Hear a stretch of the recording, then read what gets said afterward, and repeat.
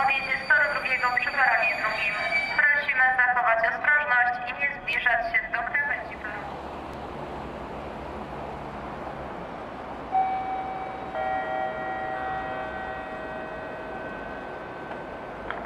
Pociąg region ze stacji Gdynia celuje do stacji Elbląg przez stację Gdańsk Główny, Szczep, Margot wjedzie na tor drugi przy peronie drugim. Prosimy zachować ostrożność attention, okay?